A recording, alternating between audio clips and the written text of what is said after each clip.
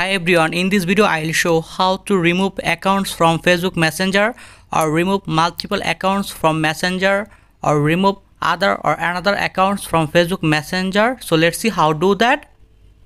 I will show some steps. You can follow me all steps. So don't skip this video. Watch full video and please subscribe this channel.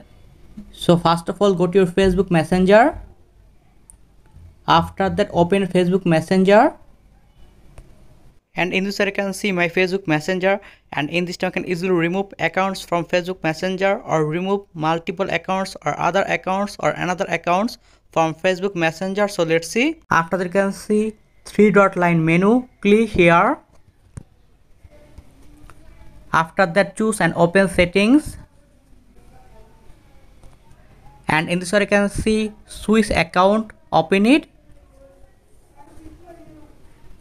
and in this I can see my all Facebook Messenger accounts or other or multiple Facebook Messenger accounts in this here and in this I can easily remove multiple accounts or remove other or another accounts from Facebook Messenger. So let's see how to do that.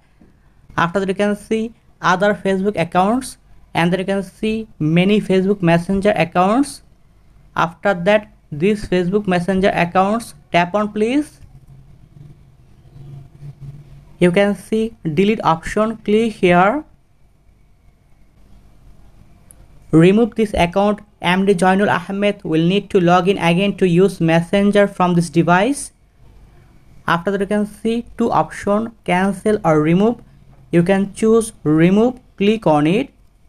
You can see in this token easily remove accounts from Facebook Messenger or remove other or another or multiple accounts from Facebook Messenger and in this time I can show another way or second way. So let's see. After that go back. Scroll down. After that choose see more in account center. Open it. Scroll down. Password and security. Open it. Where you are logged in click here after that open your facebook messenger accounts you can see account login activity you're currently logged in on these devices and in this time i can show another way or third way so let's see minimize it after that tap on messenger you can see click on it after that choose clear data clear data clear all data clear cache in this time you can choose clear all data click here delete all data all app data including files settings accounts databases and cache will be permanently deleted. After that choose ok click here.